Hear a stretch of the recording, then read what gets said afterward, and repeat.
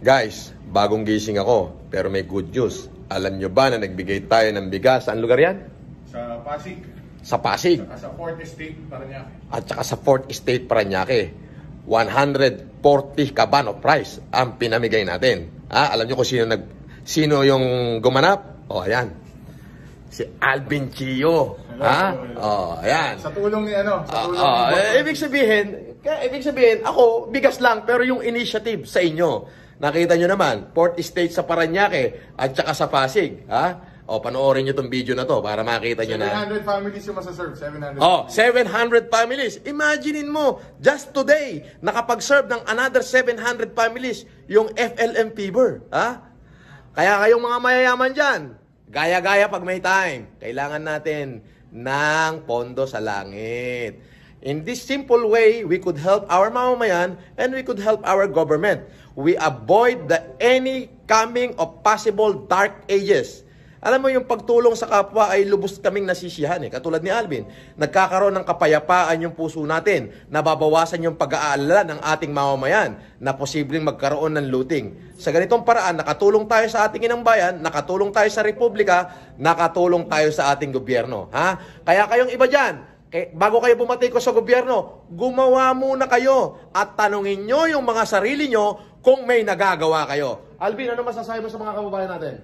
Ah, wala, wala akong masabi. Basta pakabait na lang tayo sa loob ng bahay.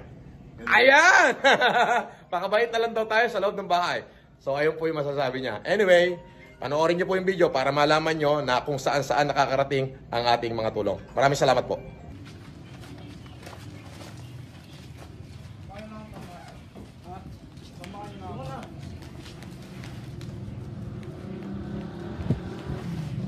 Seventy na naman. One fourth February natin.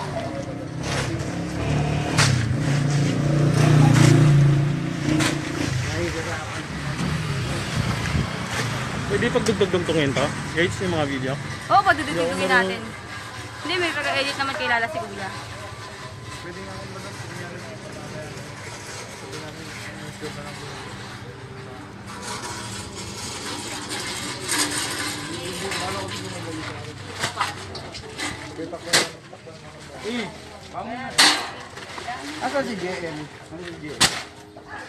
Salamat sa bigas. 75 sacks para sa mga kabarangay namin sa San Miguel. Maraming maraming salamat, boss.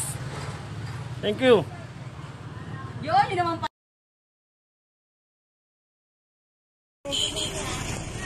Boss Francis, ah, ito yung 75 na sacks na bigas para sa mga kabarangay ko sa San Miguel. Ah, ibibigay na natin ito. Ah, pagkatapos ng pagbabalat. Boss, maraming maraming salamat po. Ah, ito yung mga kabarangay namin. Ano mo?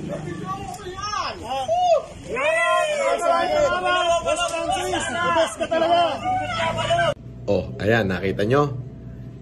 140 sacks of rice ang pinabigay natin sa Port Street at dito sa May Pasig, sa dulo. Ha? Ang ah, nag-facilitate po niyan, yung kaibigan natin, na si Sir Alvin Chio. Nakita nyo? Sama-sama, di ba? O, dati-rati mga natutulog lang nung kinalembang ko. Okay to, nagkalembangan na. Nakatulong tayo sa lipunan. Maraming salamat. Hanggang saan ang yabang mo? Hanggang saan ang kayamanan mo? Ha?